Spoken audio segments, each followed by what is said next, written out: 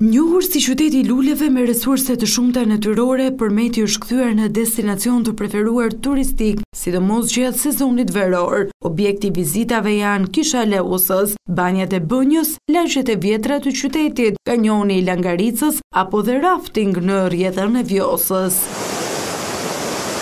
Në bazë të statistikave zyrtare llogaritur nga qëndrimi në hotele, bujtina, Përmetin e kanë vizituar në tetë muaj mbi njëqind e dhjetë mijë turistë, shumica prej tyre të huaj.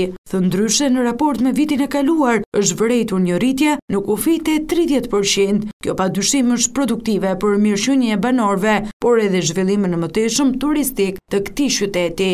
Deri në muajin gusht, Përmeti numëron mbi njëqind e dhjetë mijë turistë që kanë qëndruar minimalisht dy netë në qytetin e Përmetit.